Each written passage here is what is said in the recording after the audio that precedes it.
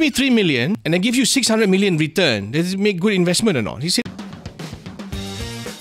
Welcome to the Are We OK podcast, the podcast that talks about policies in ways that are relevant to you, the person on the street. My name is Kian Ming, and today we have a special guest with us, uh, none other than Azwan Baharuddin, country manager for Accenture in Malaysia.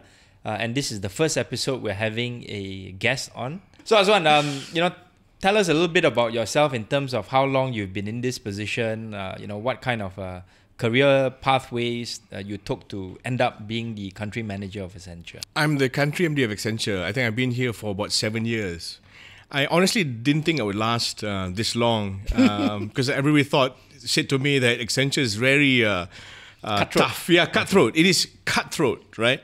And actually, that's the first thing I tried to do when I when I joined Accenture initially in, on uh, March first, twenty seventeen. Mm. Um, I said uh, the first thing I need to do is um, try to understand why people are such, right? So what's what's driving them, right? So um, it's been a phenomenal journey. But before that, so if I start from my childhood, right? So I have a degree in economics, but um, I started coding when I was 10 years old. But I started at 10 years old. I, I won uh, awards in competitions. Actually, it started because I wanted to cheat in games. Ah, because it was that long ago, okay, right? okay, so you can okay. kind of hold memory blocks you and say, hack. hey, you know, yeah, that's right. So you can say, hey, you know what, I, you know, you, you don't have um, internet last time don't have kan. So so what I try to do is hey you know what can I create my own stuff right? So I freeze the the, the money credit so that Ah, ah, so okay, that's how it started. So I said Yeah. how do I do that? And then I started doing that and then that got me interested and um, kind of the sidebar So like like like championship manager edition one, you can put in money. Some, ah, yeah, that's right. Yes, yes, yes, yes. Money. Yes, yes. exactly. right. So today you've got games. Uh, for example, I'm a big FIFA guy uh, on uh, PS5 Ah, okay, now. okay, before okay, PS4, PS3, PS2. I've got all the consoles you can imagine. Sure. And uh, but now you can start and say you can actually specify what's your starting budget. Ah, you can put a billion. Yes, yes, yes. Right? Then you So- can buy all the top players. Yeah. no, that's right. Uh, but it gets a bit one- boring lah. yeah, bit bit boring. cheat lah, bit- Ah, bit, bit boring because you start beating everybody from scratch. But that's how I started. So. Um, so so on that on that note, Mm. why did you study economics rather than computer science? Because I like reading. Okay, so my father said, so at A levels, right? So I wasn't sure what I was going to do, just like a lot, lot of people, I guess. I was not the science guy. I was not that good at it. Okay. Um, so I was not that great in mathematics either. Okay. So at maths was like, oh, Ah, okay, dude. okay, okay. Yes, yes, right? okay. Yeah. So then my father said to me, he said, but you like reading newspapers, you like to comment about the economy, you like to Mm. read politics, right? Uh, although I know you like to draw and all that, Mm. Uh, a bit creative on that side, but I think you like the kind of this stuff more. That's why I started. So my A levels, I did uh, economics, uh, politics, and accounting. Oh wow. Okay. okay. Yeah, so it's kind of Okay. a yeah Okay. diverse. So it's enough. It's good for business lah. So you can kind of yes, look at numbers, understand the you know the Yeah, politics you can read the balance sheet. That's uh, right. You can uh, you can know what, what how to comment on GDP figures and things like that. So so before Accenture, I was in a big four firm. I was a Mm. partner running uh, sales and business development for Asia Pacific. So so I'm kind of in that track. I've always had. I always worked for multinationals all my life. And, and did you did you continue coding while you were in university uh, as a hobby, or you that sort of like died down along the way? So where I was certified as a J2E Java programmer was actually I started working in Bank Bumi London branch for a while. Okay. And then they were implementing a core banking solution from a company called Temenos, which is a Swiss company. Okay. And then after the implementation, so I was there. So I said, so I had the uh, the ability to code. So the guy said, "Can you help?" I said, "Yeah, of course." Uh, but then through conversations, actually, after a couple of weeks, I was the project manager. Can you believe that? Just fresh out of school, you know. Okay. Uh, project manager, and I was doing all the coding. And after that, the company offered me a job. So so to, to contextualize things, uh, this was uh, in the 19... 1997. Okay, okay, okay. Oh, so that time was also the time of the financial Asian financial crisis. Yeah, I was unfortunately I wasn't here. I was there, um, and then which was a good thing. You know, you got a job there. Yeah. It was a good thing. I had a job there, and then after that, they had you know the euro conversions, the bond conversions. So I did all of that stuff uh, in Europe. So the the the Y two K bug Sure, that yes. never happened. So Yes. so I was. You know, waiting there while you know the fireworks were going, and I'm thinking in the office like something's gonna happen. Something right? gonna crash. You know. uh, nothing happened. Yeah. So after that, we went home and we just partied all night. But but but that's how I started coding again, Mm. um, basically. And then after that, um, when I came back, I joined, uh, actually joined Arthur Andersen. Hmm. I had some offers when I was in UK, lah, but Arthur Andersen. Uh, so at the time, if if you focus on Arthur Andersen, you know, it's, it's shut down now, yes, right? yes, yes. But yeah. uh, it was split in two. Yeah. it was split, and and I said, so so why us not, you know, the other PwC, etc. I said because it's closer to my house. ah, I couldn't okay, differentiate. okay, Honestly, okay. when you when you when you're joining one of these, you you couldn't quite differentiate, Sure. right? Yeah. This So was in KL. In KL. Okay. In KL. So Yeah. so that's when I eventually came back. Okay, so so let's let's uh, sort of like roll it back a little bit because one of the questions I wanted to ask you was your own uh, experience with digitalization. Because uh, this episode we're going to focus a lot on uh, uh, the digital transformation that companies and the country has got to go through. Uh, you know, we'll maybe you can tell us how has your experience with uh, digital products been from a, a personal standpoint? We, we don't talk about the work part first, just personal standpoint, the way you interact with your friends, family, you know, that kind of a thing. I, I think a lot uh, has changed. No, actually, the the more, the bigger it is, the older you kind of declare yourself to be, I guess. But uh, but I, I tell you, a lot of change. For example, right? I think the interaction with people have changed. I would argue, actually, let's start with it's a it's a bad negative to start with. This ability to socialize is less, even you go social media, but it's social less. Social less. Okay, yeah. okay. So so it's quite interesting. But you know, last time when you go to your auntie's house, or your grandfather's house, whoever's house, right? You the first thing you look at albums, right? You Ah, say, yes, "Nah," yes, you, yes, go- you start albums, comparing. yeah. Mm. Hey, remember this? Who's this? And etc. Right? So you you kind of have that. You kind of miss it because today you got all your photos in your phone in the cloud, right? When you actually discuss, hey, when was this?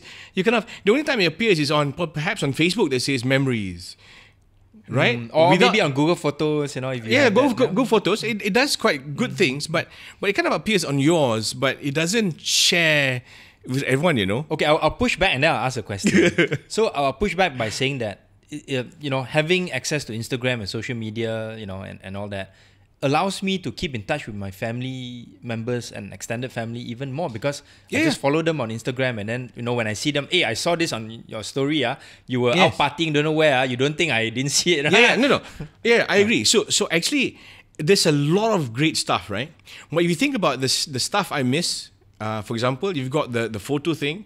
You could also. Do you remember Yellow Pages? Yes, yes, of course, yes. I kind of miss Yellow Pages. yes. It's like it's like browsing, you know. Hey, what kind of services exist? And and okay, let's look for the plumber or don't know what. yeah, but not just that. You kind of go into other services you've never seen before in your life, right?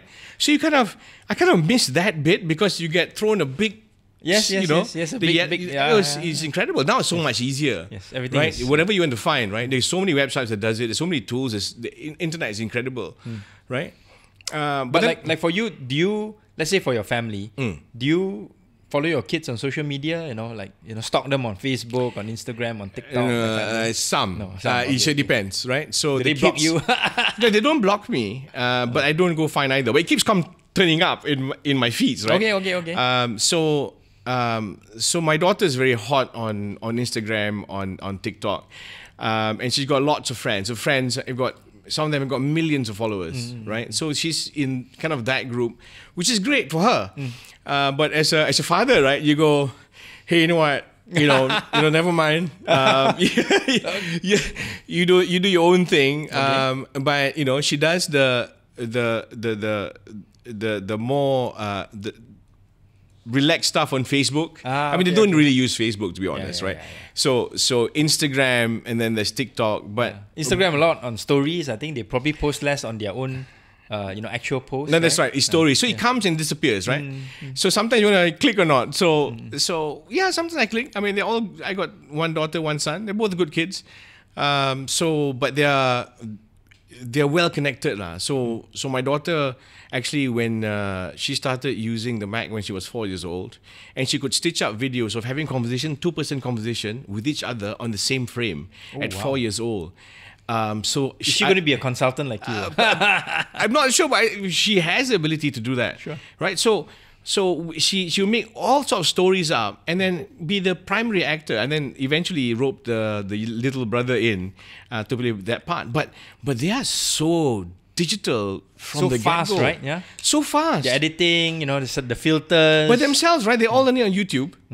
Right. So very intuitive. yeah, intuitive is, is is incredible. So so all of that um, has changed. You know, even uh, learning, for example. I mean, of course, COVID. We can, can speak about it later, but but COVID was you know a big catalyst in terms of digital learning. Sure, yeah. Because you know, Not a a- choice. Yeah, a lot of us had to you know Pivot. pivot at, at, at the time. Yeah. Right. So- Banking, Yeah, banking, uh, other kind of corporate services. LHDN. uh, yes, yes, yes. Well, we'll we'll come back to that. Uh, you know, because uh, I think uh, that's part and parcel of the digital transformation that the country and uh, uh, corporates, uh, both big and small, are facing. Uh, so you know, thanks for sharing about your personal digital journey, and uh, we'll be right back after this. Welcome back to our conversation with Azwan Baharuddin, Country Manager for Accenture on the Are We OK podcast. We're talking about Azwan's own uh, personal digital sort of like experiences. Uh, and now really want to pivot into the kind of uh, digital transformation that Accenture helps corporate undergoes and undergo. Uh, and one of the things that I can remember from uh, you know talking to my friends in Andersen Consulting or AC at that time when I was working at BCG was that everyone had to go through this uh, ritual of getting trained in enterprise resource resource planning or ERP. Uh, that was the initial bread and butter of uh, Accenture. Uh, do you remember those days? You know, or were you are you familiar with that kind of ecosystem from the early Accenture days? I wasn't there, but yes, actually, the, the a large part of DNA still exists in that space, um, and that is also um, the primary uh, driver or pivot point for many organizations because you have to change because the way you operate um, changes. Yeah, so but uh, we have changed uh, quite a lot lah, Sure. uh, since then. So ERP, maybe for those who don't know, it is sort of like uh, looking at the back end of. Uh, Yeah, so ERP is when you know you run a business, um, especially big business lah, uh, where you look at how you deal with your finance, how you deal with uh, human resources, procurement, procurement, yeah, fulfillment. uh, yeah. So so there's a so the core back office engine runs on ERP system. Yeah. Right. So you when you're a small company, you don't really quite need it. Uh, but as you grow, you do need. You have different versions of it. But as you integrate more complex business, that piece becomes extremely complex. So maybe you can sort of like explain to the listeners how did uh, Accenture shift or pivot, uh, growing from ERP where you were systems implementer using things like uh, SAP software and things like that, to slowly pivot to other areas of digital transformation for your clients. Mm. So we started with implementing the back end, so Yeah. to speak. Right. That was Then- your entry point. entry point. Then somebody had a bright idea, I guess that was in 1990s. In the 2000s, somebody had an idea that says, hey, why do we also run that? so, so, so that's the big outsourcing shift in the 2000s, right? Uh, that's uh, gives you good recurring income as well. It does. It does. So so it started uh, that. And then, hey, then Accenture moved, you know, um, into, hey, you know what? Why don't we get into the business side? So, you know, let's go into even plant management, for example, in, in even in manufacturing, in oil and gas, energy, etc. Right? Um, so, and then hey, I said, so, so, so somebody said, why don't we also get into the front office, right? I want to drive sales as well. Sure, So why do we run the entire company? so you create the product. Uh, we, we, we deploy the, the technology. And the uh, manpower. right, and the manpower. So you just get creative in your product development, right? So, I mean, as a, as a concept, it's easy, it's, it's challenging, but um, it, it made sense, right? But, but having said that, right? So, so then you can see where this is going, right? So, where's the next uh, frontier? Wait, be- before we even go into that, um, you know, how, what were some of the challenges in terms of trying to scale up, so to speak, uh, you know, from just doing ERP, um, you know, uh, implementation to running some of the back office to running some of the front office uh, services. Yes, there are some similarities, but there will be some differences as well. So, how then does Accenture as a company uh, globally and may- maybe to, to, to the context of Malaysia more specifically, how then do you you know expand the kind of uh, uh, service offerings in, in that space? Well, it's not easy. I can imagine, I can imagine, but that's what you guys are paid the big it's bucks not for. easy. it is not easy. It is um, it is a lot of blood, sweat, and tears. I think a lot of battle scars. I think that I think the firm and its people have gone through uh, for many years. When whenever you start something the first time, right? I think when you sell it, it sounds great. When you have to do it, it's like, oh my god, how do you actually do this, right? Yes, uh, I was also a consultant once, but on the strategic consulting side, and you know when we got into some of the implementation uh, projects, uh, you can see the the the the, the pain points are being Because the PowerPoint is really pretty. Of course, of course. so so when you actually try to do it and say uh, it's like this uh, for example so there's one time not in accenture but somewhere else right so uh, one of my bosses said to me you know we're doing strategic procurement tomorrow. So as one you're it you're training the procurement guys. I said say what what's what's procurement again? So that was you know but that's the reality right? Sure. the, the, the, the night before literally.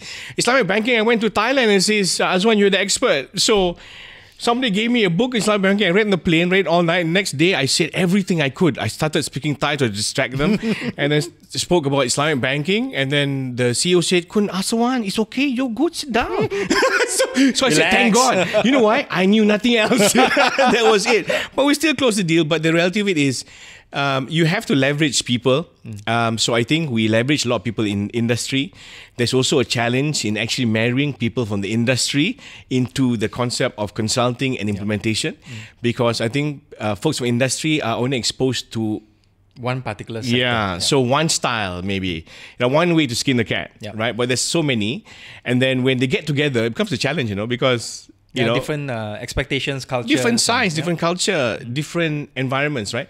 So actually, when we had to do that, so you just imagine for us, right, as a business, training and learning becomes absolutely key. Sure. It's it's so you just imagine, right? Before I talk to someone about a particular technology, for example, right? So I've got to read that first. I cannot be talking and say so. But the clients are very smart. ah. So where have you done this before? Uh, well, here I, I will try to sort of like uh, uh, help defend the consulting industry and, and say good things about it. Uh, in the sense that, at, at least for Accenture, what I heard was uh, the process of training, you know, in terms of, uh, let's say, ERP exposure, uh, was very robust. And once you get that kind of, uh, you know, very good foundation, for you to be able to scale up into other process-oriented uh, digital transformation, it becomes something that's quite intuitive. That's right. So in fact, from I think the old school of method one of Accenture that was you know very famous is regimented. Um, um, so one of the clients um, said, you know, the difference between Accenture and others is that you're industrialized. So and that and that's key. Yeah. Um, because sometimes when uh, so when when you do work, you pitch, you base it on whoever you can get in the particular project as a pitch or as a as a person driving it. But the reality of it is, you know, through the years, how Accenture has grown. It's now seven hundred fifty thousand people That's worldwide. amazing, yes. That's they were the f- world's fourth largest employer.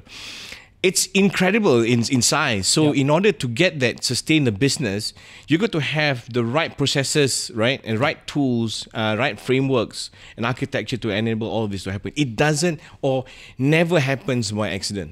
Sure. And I'll, I'll come back to some of the challenges of growing uh, the scope and the scale of the business uh, later. Uh, but maybe let's uh, you know go to go to uh, one part of your transition into Accenture, uh, going into Accenture in 2017. What made you want to take up that challenge of uh, you know taking this position in what was supposedly a very cutthroat environment? So, you know, when you look at the world, um, and of course, I was I had the fortunate thing of being a avid gamer, right? So you see, That time what PS2, 3 or oh, I started PS one, two, three, Okay. four. I've got PC, PC also. PC, PC. I built PCs of my own, so I'm the I'm that guy that Okay, uh, FPS, RTS, uh, first person shooter. or- yes, all Okay, okay. all the above. So I play all sorts of genres. I Doom, uh, one, two, Oh, three, of four, all that. okay, okay. Wolfenstein. Wolfenstein, yes, So- yes, yes, yes. so- that, that, that dates us, but it's okay, it's okay. Yeah, yeah. So so I did um, all the above. So then you realize, right, the the speed at the which technology and the graphics and how quickly it moves. And you know the one thing that un, the Unreal Engine, for example, before, Mm, yes. right? you look at the water in the games, right? How real The that is. physics. Yeah. So how that works tells you how advanced technology is. And then when you look at at the world, right? And I decided at that point in time that PowerPoint doesn't change the world. Consultants may like to think so. Consultants may like to think so. so. But it doesn't. Yeah. It doesn't. So you have to move from PowerPoint to the doing. So when you come to doing, how exactly? Not the high level bullet points. Just you know five nested things Yes, yes, under, yes, right? yes. So how exactly, when exactly, who exactly, right? So so you have to do that. But then what I realized also at the end is technology enablement is everything. Without that, you can dream of the best process, but it still take time. That's when I it, it kind of the eureka moment and says, actually, which is the best company that does that combines consulting with implementation, run, right? Um, yeah, and to be able to do real transformation. that's right. That- I mean, that was it. So that was not too difficult, to be honest. Okay, right? So no brainer from that perspective. Mm. Uh, but I think the challenge would be then after you got in, and then later on COVID happened. Uh, then that kind of uh, you know uh, challenge were you know new challenges were to you know that you would face. You want to talk a little bit about how you know how uh, you as an individual as a country manager cope with that transition and how the uh, company as a whole uh, dealt with the the, the the pandemic. Fortunately, I was uh, one. Of the, I'm one of those guys who can go high level, can go real detail, roll up my sleeves, and I actually So do thirty thousand feet, three feet. Yeah, three feet, less than three feet even. so so I ran a cadence every morning, seven thirty every morning. So from the point of trying to get people safely home, because you have people, we've got expats, we've got you know people visiting, etc. Everybody wants to return home. There are no flights. You got to make some calls, you know, f- to to get some flights. Uh, Yep. For example, you've got that. Making sure that everything's okay to the point that the contracts are still running. Yes. Because the clients still expect it regardless, Yep. right? Uh, to to thinking about how do you do this remotely. So we've had some for some clients, right? We've I remember at a time we had to buy five hundred uh, dongles from the telco, right? Because they've got to bring their work home, and not everybody has the Sure. sp- you know speedy connection that you kind of need to go real real time, right? Uh, that, that, that time 5G wasn't deployed yet. No, it's not, right? So so you just imagine. So worrying about, you know, and, and then telling the client is secure.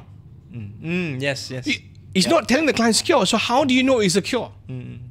Right? So the inspections need to come. You got small windows opportunities, lots of conversations with the clients because um, the way I put it is uh, we had a lockdown, but not every country had a lockdown. Sure. Yeah. Some were more locked up than others.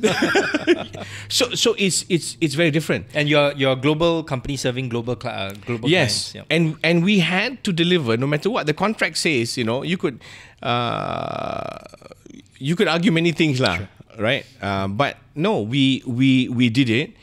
We transition. We transition immediately how we work with each other. Of course. You know, other companies also. You got Microsoft, you got Zoom. So everybody came back Yeah. with strong offerings, right? It's not perfect, um, but you know, remember in the olden days when we when even when you were BCG, right? You had conference calls, not video. Yeah, it's not. It's not. Yeah. It's not, so yeah. even today, so Only you have Oracle and others came in later. you know. yeah. no, that's right. So even today, um, it's it's still a culture where when I get on a, a conference call, I would switch on video. Then when I switch on video, then everybody switches on their video, Yeah. right? But and COVID changed that, right? COVID yeah, but- that. and it's a massive cultural change, right? So so and and people say that's great, but I think we all know it wasn't because there was no time to rest because every everybody expects right. So when you normal meeting, you'll be five minutes late maybe and say sorry, traffic, Yes. lift, whatever lah. When you're on the call, you know No where, where you going? Yeah. so my last call finished late. That's the Yes, best yes. you could do lah. Or well, that means that the law of uh, back to backs. consistently back to backs. And and worse still, right? Worse still, I had to come out with um, an order, so to speak, right, that says no calls after seven, because people thought they could, because they said, "Well, what are you going to do anyway?" Yeah, yeah, yeah. Oh, but you, but you kind of, you have to be the adult in the room and says, "Actually, no, stop, guys. Yeah, yeah, yeah. Seven o'clock, family, Netflix and chill. That's right. you have to. Yeah. Okay, so uh, we'll come back right after this to talk about two things. Uh, one is some of the details in terms of the digitalization uh, challenges that companies had to face and how Accenture helped them. And then, uh, you know, the other part that I really want to talk about is Accenture's own expansion of services into other areas that maybe you guys don't know about. So we'll be right back after this. Hi, welcome back to this special interview with Azwan Baharuddin, the country manager for Accenture here in Malaysia. Uh, Azwan, you know, we thought we were talking about the pandemic just now, and uh, you know, one of the things that I'm really interested in from a corporate strategy and also implementation perspective is how did you uh, find the space uh, to discuss with your clients uh, in terms of the kind of aggressive approach or maybe not so aggressive approach that uh, different clients would want to undertake in terms of digitalization to cope with COVID. You know, so putting on the country manager hat, you know, during that time, what you can remember, what what can you tell us? I think the uh, one thing I was quoted, and I, and I said this quite often, was I said you can be irrelevant in a blink of an eye. Yep. so that's how I start, because the I think for Malaysia especially, I think a lot of our industries are oligopolistic or monopolistic, a duopoly or Uh, yeah, right. So yeah. so it's quite protected. Yes, I tend to take things for granted. Yeah. but but you know when uh, as uh, as someone who's who's in the fabric of Accenture globally, you can see what the other countries are doing and how fast they're moving forward, and it's very. It- For personally, it's very hard, you know, when you see some of the countries we were ahead again. Singapore, forget it. They're so far forward, right? In some areas, yeah. they're kind of lapping you, you Yes, know. yeah. So so I said, well, okay, maybe not them, but then we look at Thailand and Indonesia, Hmm. right? In many aspects, um, not everything, Hmm. um, they've surpassed us, right? But even Indonesia, you know, you know, it's a sleeping giant, right? So, but I think it's already woken up. yeah, but we, even without fully, right? They they're here. They, I mean, the nothing in the rear view rear view mirror, and then you look up. Hey, what, I'm sorry, what's what's happening? Yeah, so as an, as an example, you know, now I sometimes will book, book my flights through Traveloka, for example, because Hmm. they're all over the place. They give very good service. Uh, in fact, better than some of our local players, right? yeah, yes, yes. I won't comment, but yeah, they got some good deals and, and they, they move very, very quickly. Um, so, so from from my perspective, when I speak to CEOs, um, I guess there's always a reluctance and it's a bit slow because I think the the basic uh, perception is that Azwan, we've always done it this way. It's always worked. We're always getting our profit, right? We, so we're not going for hyper growth. So we're not regional. So how, how then do you try to convince, uh, you know, CEOs, uh, you know, chairman of boards and even board members, uh, you know, that they they need to undertake that digital transformation in terms of business survival, in terms of wanting to, uh, you know, keep up with your competitors and, and sometimes even, yeah, trying to innovate. Okay. So I'll tell you a story which is not quite digital. Okay, okay. But the essence is the same. So I went to see an insurance uh, CEO many years ago, and as very nice office, etc. So as Onong went to see his office. So you got a whole bunch of people. I think eight people uh, with their with their PCs, not even laptops, are doing so all sorts of stuff. And I say, what are they doing? They're doing uh, data cleansing. I said, what's the pro- what's the problem? I said, you know, because I'm not able to cross sell. And I said, why don't you just outsource this stuff? Do it somebody else to do cleansing. I said, my board doesn't allow me to. I said, I said, why? Huh? I, so so so he said, uh, Security, is it? so, so no, there was no good reason for it, like if you ask me. But so I asked, so so um so how many uh how many customers uh have you got? Five thousand? Okay. Okay. I think it was 5,000 then. Yeah, I think so. And I said, so what's the problem? So, yeah, because they said their, their, um, the gender is wrong, address is wrong, mm. age is wrong. So I can't cross sell stuff to them. I said, really? Yeah. So, but it's like how much? Like 10 ringgit a month? He said, much more than that, Azwan. I said, really? Yeah. So I said, if you give me 3 million mm. and I give you 600 million return, does it make good investment or not? He said, what are you talking about? Mm. I said, because 5,000 multiplied by 10 ringgit, multiplied by 12, is 60. Then I exaggerate lah. Multiplied by 10 years, six 600 million. Yes, yes, so you pay me 3 million, you get 600 million back. You think the board will approve? ah? The board approve. you see what I'm saying? So, so you start a story like that. So you have to look at the upside. So I think there's a real nervousness in terms of cost cutting because people say, you know, Azwan, we're already low cost country. We're low cost. Yeah, but low cost, you know, mm, some of the toll operators took so long to get rid of people also, right? So so there's a there is good. So I, I believe in that, right? So you got to take care of the people. I, I believe in that. But then there's also an ability to uh, to do uh, greater things. For example, um, for example, one of the things we did was actually this one I think I can say lah, uh, for my TNB, right? You know the app. Yeah, yeah, yeah. Right? Yeah. I, I'm So- a I'm a I'm a user of Yeah, that. so we helped them build that. They had an initial app, right? We helped them build that. We changed all the UI, UX, we on the etc. And then And guess it's what? a very good app, very user friendly, very you can budget your thing now, you know, your electricity, it gives you alert. You, you can do many things, right? You can all your bills, and then suddenly, you know, you don't have to wait for the post anymore. It's there. You can pay it on the spot. In fact, there's probably more things coming on that platform, you know, um, moving forward. But you, you think about it, right? That has completely changed. You think about it, collections. How easy is it uh, to collect? You're collecting far quicker Yes. right? Because reminders come up, and then you pay. You know, in, in the past, right? Where's that? Where's that bill again? Yeah. Where's that bill? And then you know it's already faded because it's like the photocopier paper. I don't know what the, what's the one. Uh, the the Ah, yes, the, the, the, the plasticky material yeah, that they have, yeah. the based on heat or something. Yeah. You know, so it it so it, it- it's not that. So so when you think about it, right? Uh, an ability to reach out to your customers upfront all the time Hmm. quickly and understanding their pulse is is absolutely critical. We've got many more examples, for example, but but you think about you know if you don't move and somebody else does, then what happens? Sure. Then you'll uh, find yourself uh, lagging behind with uh, the threat of uh, being uh, closed down. So I'll give you an example. Um, uh, not Malaysian example, but uh, you know, did you use did you used to use Skype at one point in Oh yeah, yeah, Right? of course. So and and you know that kind of company you would have thought would have been right for transformation and upscaling during the COVID, but suddenly you know because they were slow, Zoom came and then took over, right? And then Yeah. they, they were they were left behind, and hardly anyone uses Skype these days. I mean, you know, it's it's an asset that's lost. Okay, uh, can I apply that during COVID also? There's a lot of stuff we could have done during COVID when people were not using it that could have been transformed today. That then that could have been fantastic today, but we said, so why didn't you do this stuff then? Any examples that you Uh, no, can reveal? okay, okay, okay. I'm Sure, not sure, sure, yeah. But you know, you can see that a lot of infrastructure uh, service providers are suffering that that problem, right? So you say, hey, you know what? Why didn't we do this then?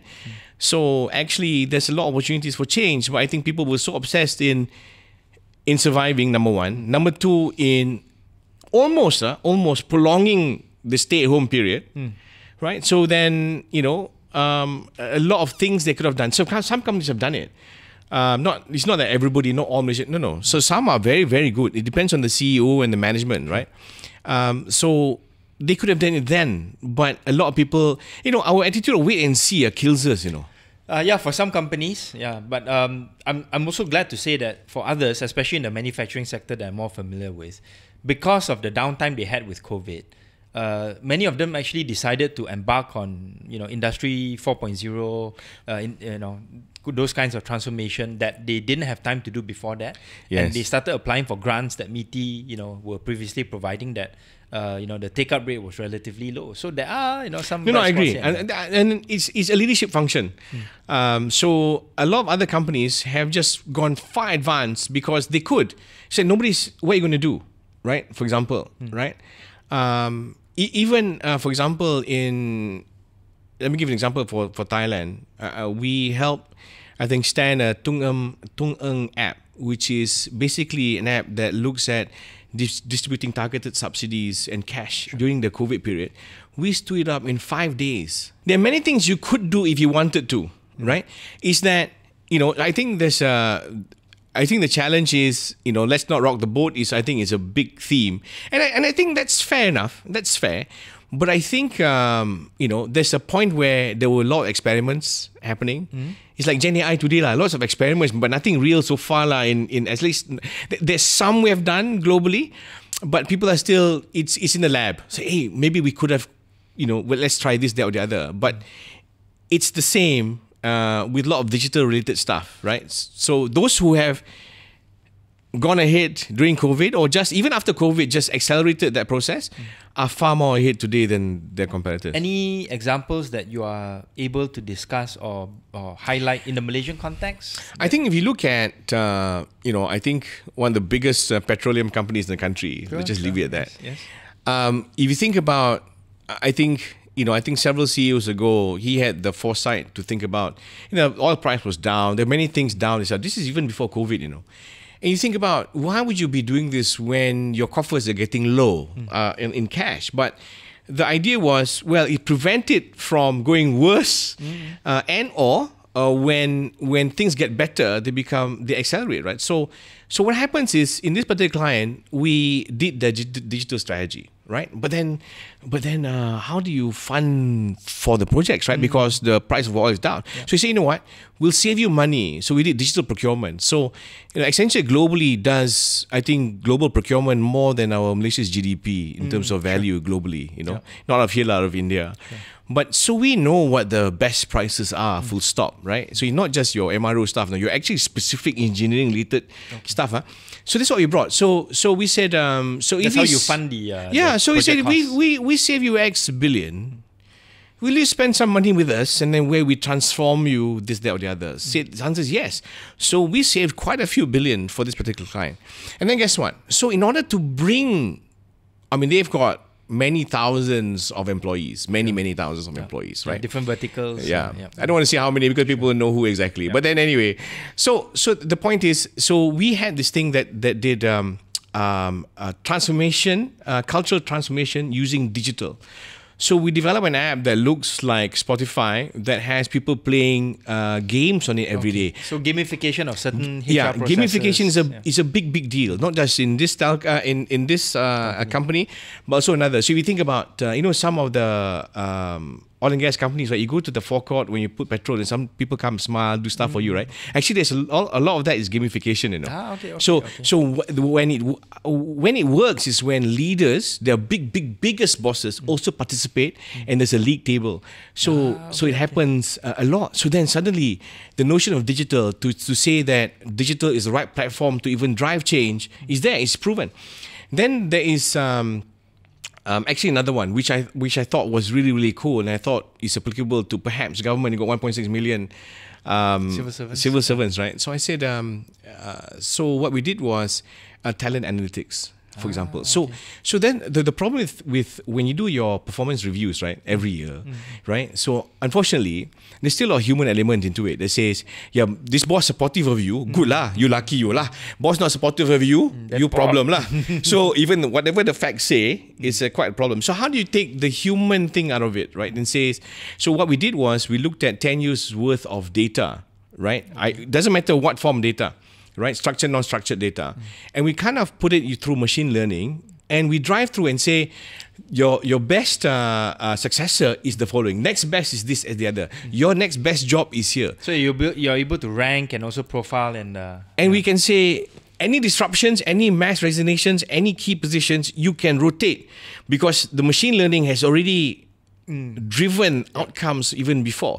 But of course, decision is still human. But the data is presented in a way that says instead of you deciding what the criteria is, it decides upfront based on the skill sets in your experience and, and ambition, etc., etc. takes away a bit more of the uh, guesswork that used to be in the past. Yeah. No, that's right. So because in organizations where lead, the bosses change a lot, mm.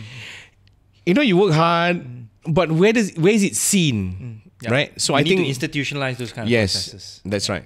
Yeah. So you got that too. Okay, so we've uh, you know that's the corporate part of things. Uh, we'll come back and then talk about government transformation, which is uh, something that I'm sure you guys will be very interested in. Uh, come back right after this. Welcome back to the Are We OK podcast. We're talking about digital transformation of government as well as uh, corporates uh, together with Azwan Baharuddin. Let's talk about government transformation. We've talked about uh, corporate transformation from a digital and non-digital perspective. Uh, in, in terms of you know the kind of work that you've done and you've seen Accenture do with governments, not just in Malaysia but around the world, uh, how how hard it is, is it to convince the government to get onto the digital transformation bandwagon, so to speak?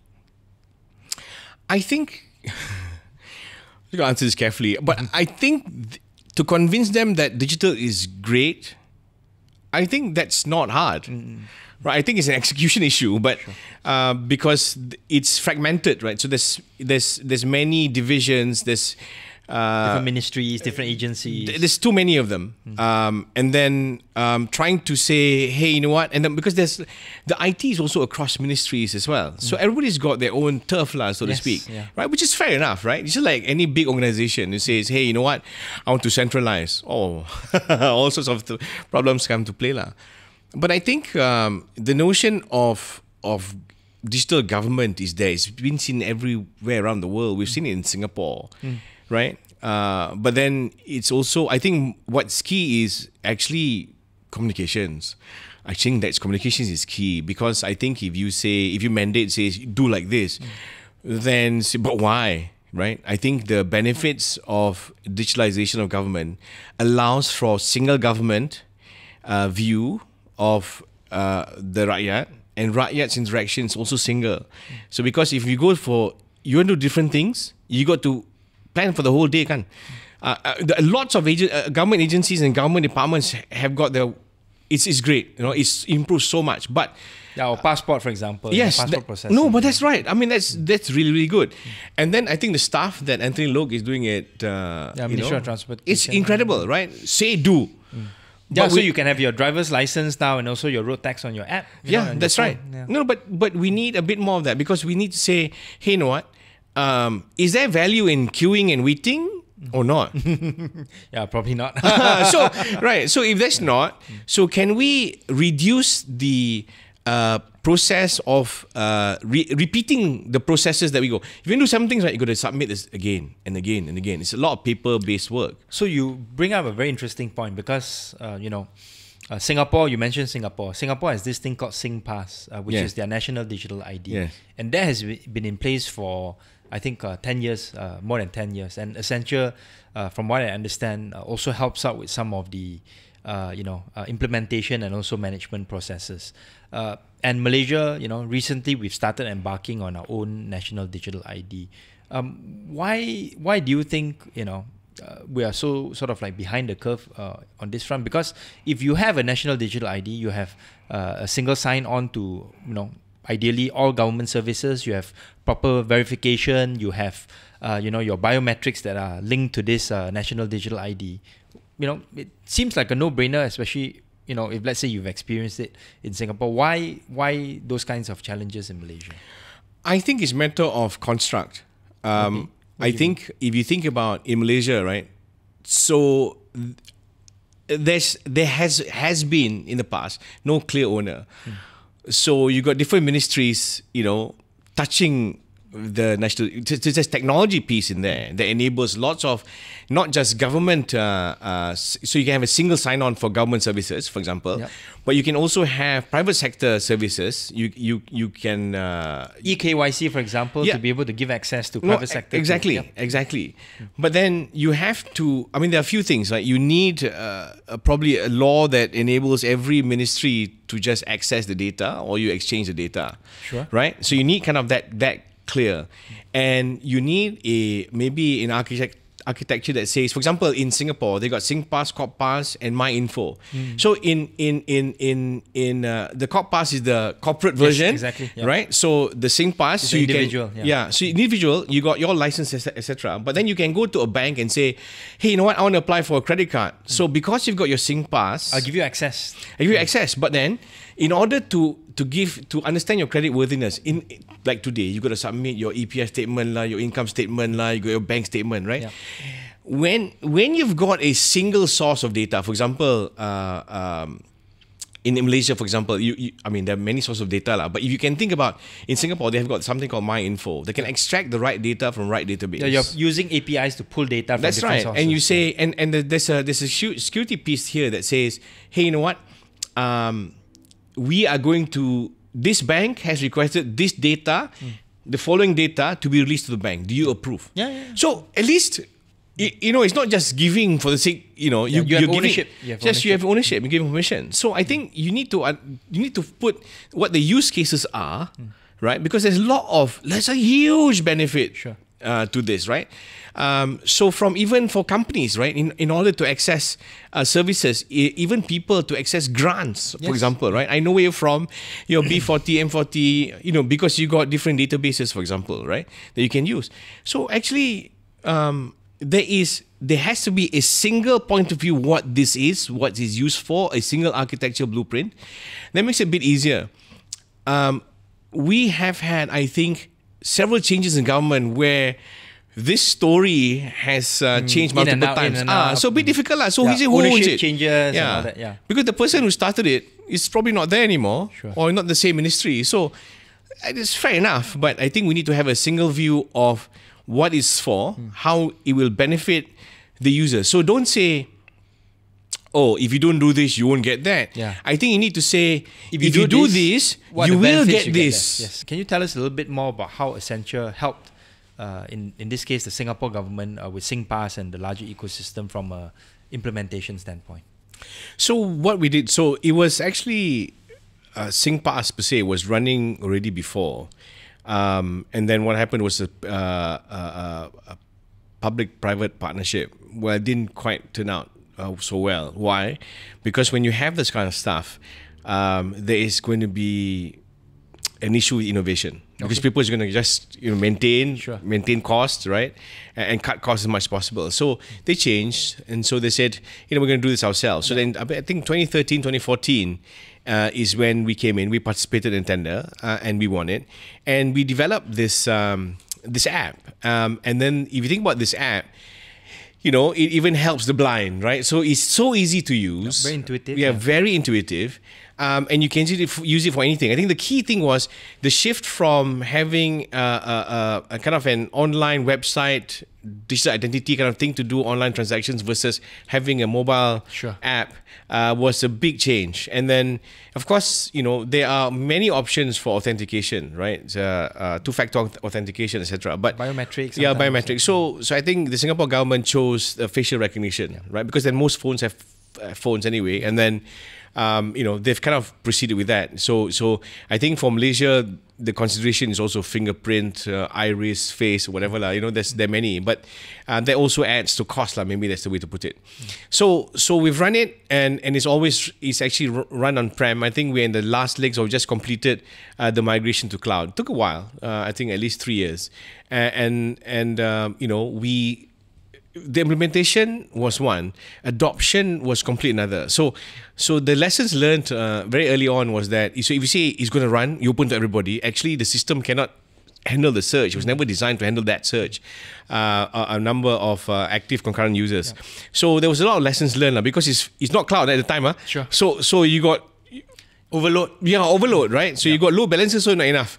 So so it was too many and so of course we went And you down guys are the- were the troubleshooter. yeah, we went down. There's so many issues. But then the other bit also, there was a lot of uh, challenge around adoption because so that they had to do, all, you know, the community um, centers, Yes, etc. You have to go there to register to ask for help if let's say you are older person and all that kind of stuff. So the easy ones are the young ones, very easy, fast, right?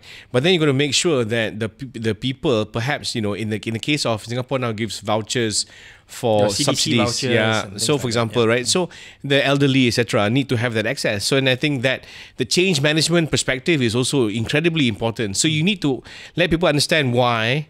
Um, how, when, you know, so a more comprehensive way of rolling things out. Uh, Yes. would include some brick and mortar stuff, some uh, digital. Yes, you have to have both. Yeah. Um, you you can't just go fully digital. It doesn't doesn't work like that. We all have phones, but Sure. But don't you think that if let's say Malaysia is rolling out the national digital ID now, and we are, uh, given the fact that we have uh, so much opportunities to learn from other examples, whether it's Singapore or India, and the fact that we can actually have access to a lot of these services through the cloud now, uh, you know, through perhaps uh, you know um, people like uh, Accenture or other consultants. Um, you know what what kind of advice would you give from a systems architecture, from a implementation and rollout perspective uh, to the people who are doing this uh, digital ID project? Actually, I first we start the purpose lah. I think the purpose is incredibly important. So if you think the purpose is purely for targeted subsidies, you will leave a lot of people behind. Because there's also a lot of people they will not get those subsidies, Sure. right? And perhaps uh, the the way it's going is also asking for a lot of information. In fact, the, the ideal way is I'm not giving you additional information. You already have my information. Yes. Use that. So I think that's a starting I, I would point. just give you approval to access that information, Yeah. whether it's EPF, LHDN, That's right. Uh, You give, for yeah. So, like I, that, I yeah. get access to that. Then if you're not registered, you register somewhere lah. You got to register for, you know, last time got BRIM, B40, right? You, you got to register somewhere, LHDN. Even though you're not paying tax, you have LHDN yeah, file, yeah, uh, your, right? your tax ID, you know, things Yeah, like that. so so you can have that. So you're in the system, um, uh, so to Somehow speak. lah, yeah. so but then but then you you have to have the objective. Objectives got to be clear, right? And then the, the use cases. yeah. use cases, right? The the benefits got to be absolutely clear too, right? For both sides, for for private sector, public sector, and the individual. Yeah, yeah. Right. The individual is rakyat and consumer. So how does that work? Yeah, and it may not just be just for the targeted subsidies. It may be for other kind of uh, government services that you want to have access to.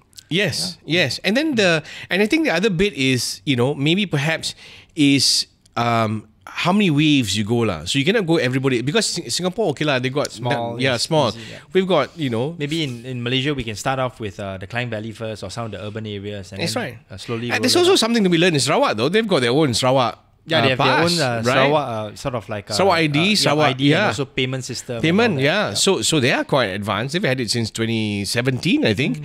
So so there's a, even in our own shores, there's uh, there's a bit of a learning, right? The technology has changed, but the objectives should be similar.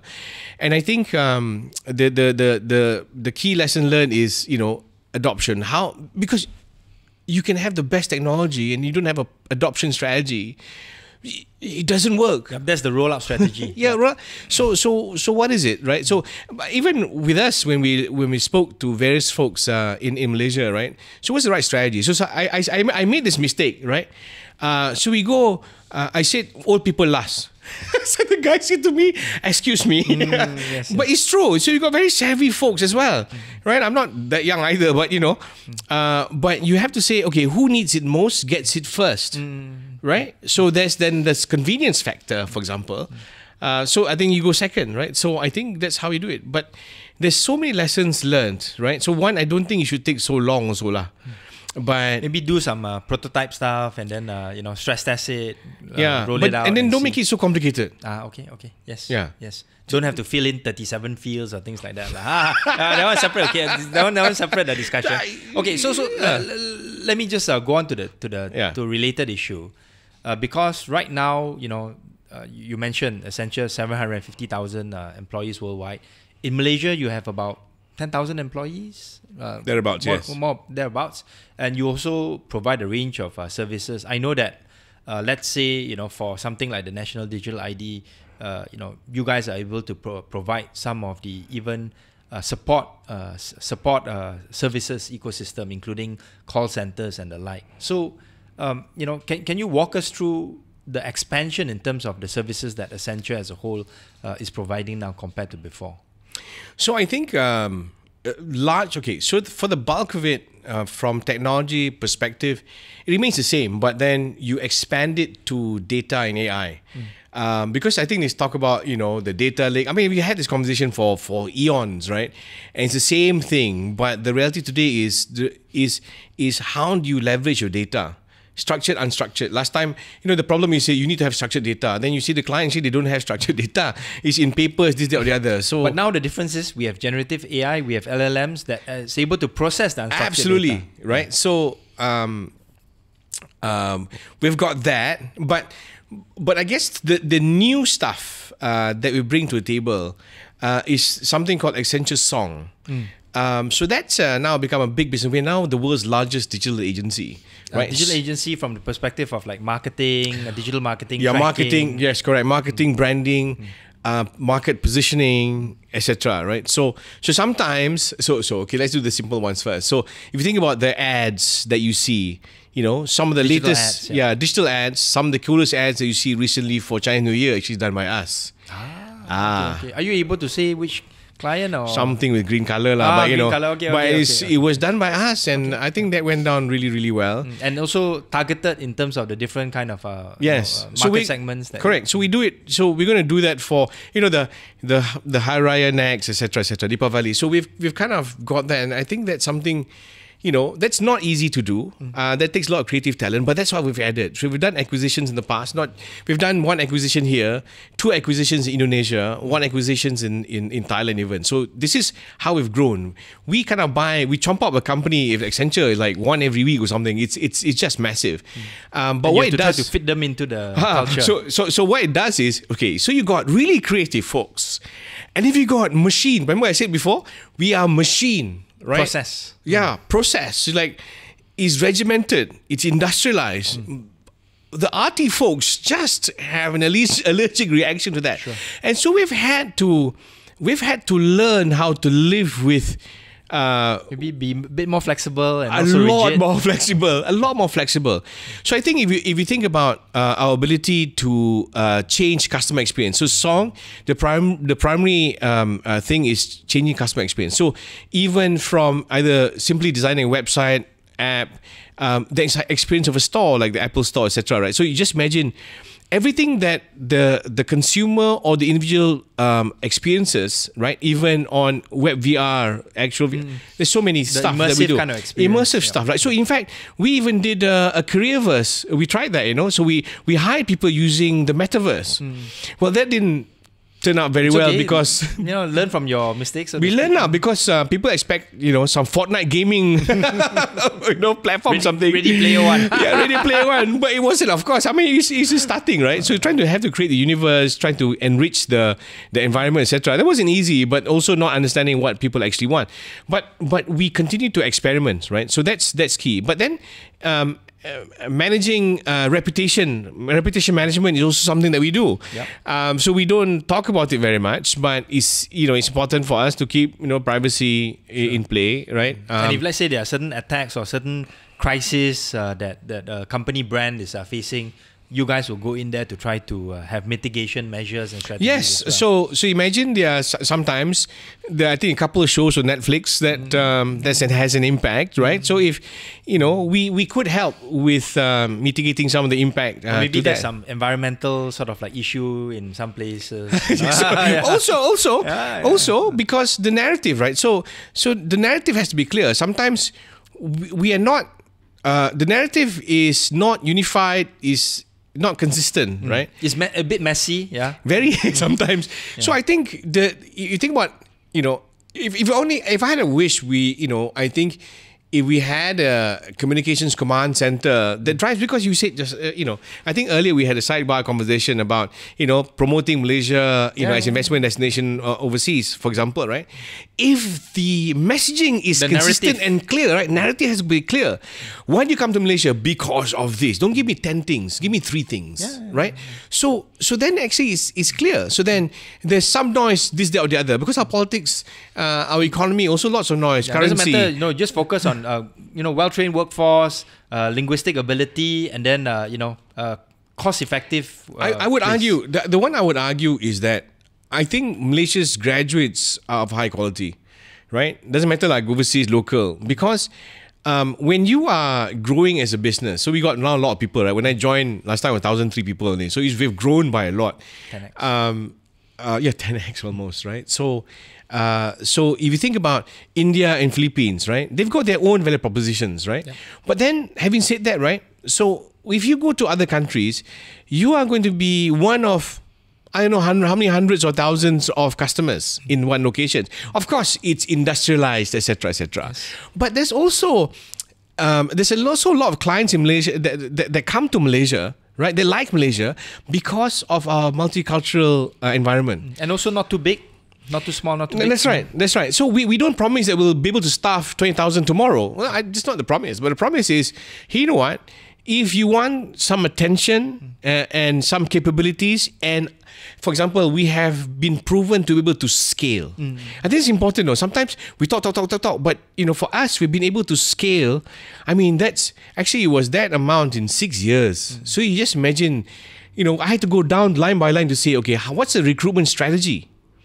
Because at, at the beginning, uh, we used to say, oh, this is all the job descriptions, right? We give to 10 uh, headhunters. You give us what you got, lah. But guess what? Every headhunter game come out with the same CV. And you go, so which one do I choose?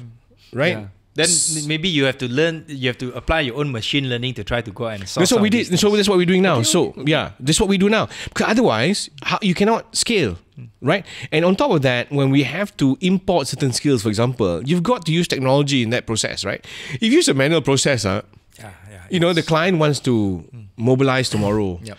You cannot say I can get you people in four months' months. No, three months only. Hey, two months to work, do work permit, you know. so three months, they got to pay off their guy. They got to move. So not so straightforward either. So usage of technology and and driving what we've got, you know, in, in terms of this is is is uh, incredible. The, the one I'm really excited is it is is this brand uh, uh, uh, marketing, marketing ops, for example, a drive. You know, when you look at uh, when you look at ERP, right, or, or other systems, you drive efficiency. When you look at um, uh, um, uh, uh, outsourcing operations, typically look at cost, Cost, reduction, yeah. right? We're looking at increasing your top line, Yep.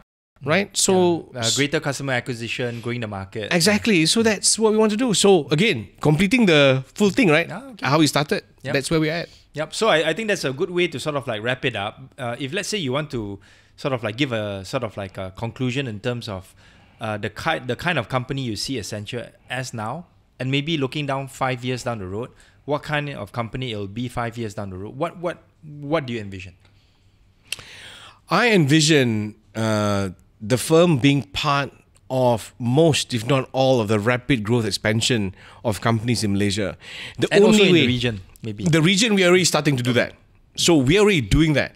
So the the point is, you know, it is not a hey, I'll do this for you. You pay me money for the labor to do it. The future is let me do it. You give me a cut for your growth, then we'll talk. Then I'll in over invest in the business because the returns are mutually beneficial. so it's a partnership. You have a skin in the game. Absolutely. Okay, so with that, I think we've uh, gotten a very comprehensive picture of the kind of technology uh, company uh, that Accenture has grown into. I think it's been a fascinating conversation. If you want to hear more of such conversations involving the corporate world, uh, please uh, put it in the comment section. Thank you very much, Azwan. And uh, we are both brothers in solidarity in wanting to see greater digital transformation for all sectors of the economy in Malaysia. Absolutely. Thank Thank, you you so much for having me. Thank you.